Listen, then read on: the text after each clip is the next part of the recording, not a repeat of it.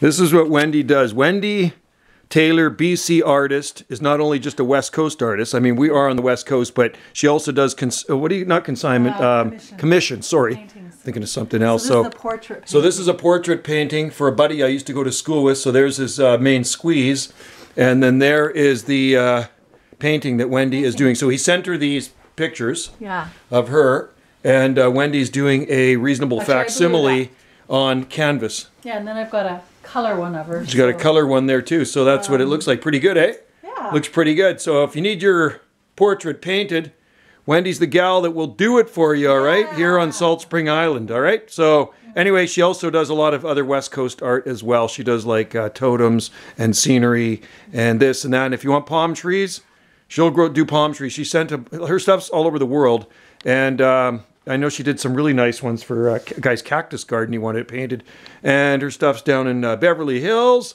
and Hollywood and New York and just Europe, you name it, it's there. So anyway, you can check out Gallery 59 on Salt Spring. Oh, and Hawaii too. Yeah. Yeah.